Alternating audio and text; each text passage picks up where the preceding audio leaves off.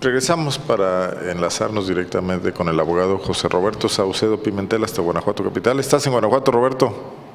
No, fíjate que hoy ando en Querétaro. Ah, muy bien, bueno, te agarramos más lejos. Gracias por tomar la llamada, Roberto. Pues queríamos conocer tu opinión sobre esta nueva decisión del gobierno del Estado, ahora de Miguel Márquez y su unidad de acceso a la información pública sobre el terreno que están comprando con fondos estatales, todavía no terminan, para donárselo a Toyota. Recordamos los casos que tú investigaste en sexenios anteriores con Juan Manuel Oliva, de otras compras similares que se reservaban, pues incluso creo que por más años, aquí se está reservando por cinco años. El argumento, pues que esto puede dañar la llegada de Toyota y esto afectaría a la economía de Guanajuato. Roberto, ¿cómo ves todo esto? Mira, yo creo que un primer, un primer comentario, Rondo, quiero remontarme al debate entre los candidatos a gobernador cuando estaba compitiendo precisamente Miguel Márquez.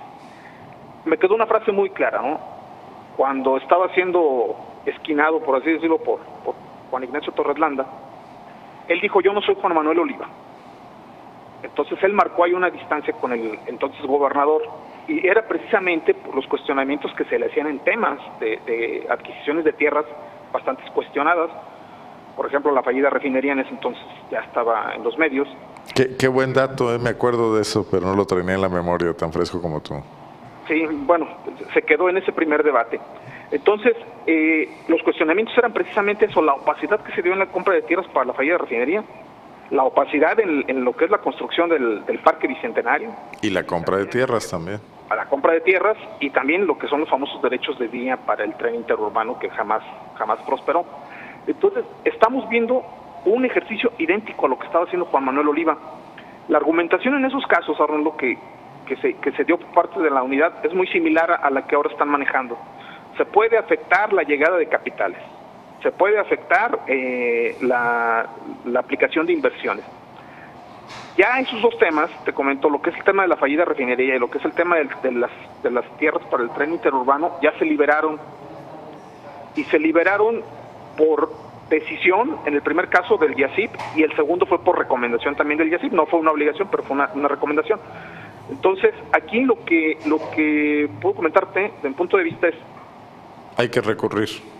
Hay que recurrir, definitivo. Hay que recurrir al YACIP y luego pues hay que irnos, ya nos marcaron la pauta los tribunales federales. Después del YACIP tenemos el Tribunal de lo Contencioso. Ese es el cambio para cuestionarlo. Y el argumento, creo yo, de fondo es, primero, la, la, Carta Magna en su artículo sexto establece que debe de privilegiarse la mayor publicidad en el manejo de los recursos públicos.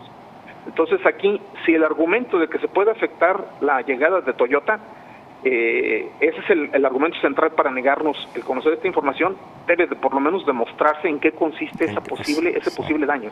Y yo entendería que cuando no se sabía dónde iba a ir Toyota, dar a conocer el lugar podría ser eh, el origen de un tema de especulación con las tierras, pero ya está definido el polígono, ya tienen compradas 450 de 600 más o menos, y el, de lo que se trata de saber es cómo se gastó el dinero público, cuánto costaron, qué mecanismos se usaron para adquirirlas.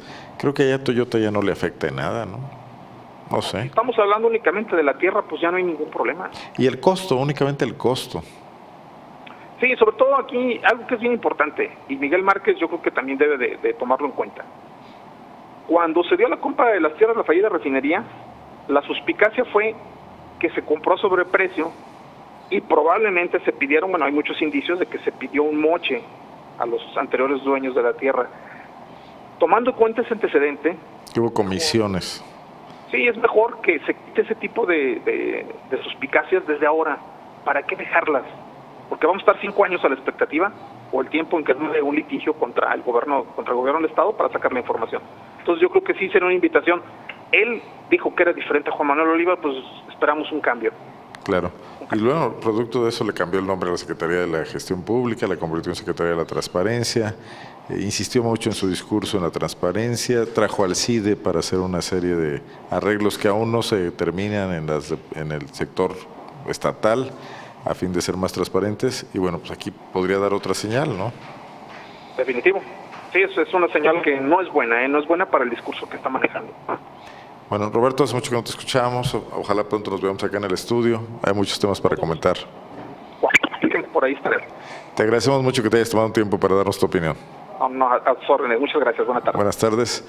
José Roberto Saucedo Pimentel, activista, abogado y activista en temas de transparencia y de acceso a la información pública. Además, todo un especialista en hacer estas interrogantes para, pues a veces forzar a la autoridad a contestar, porque no siempre lo hacen de buena manera.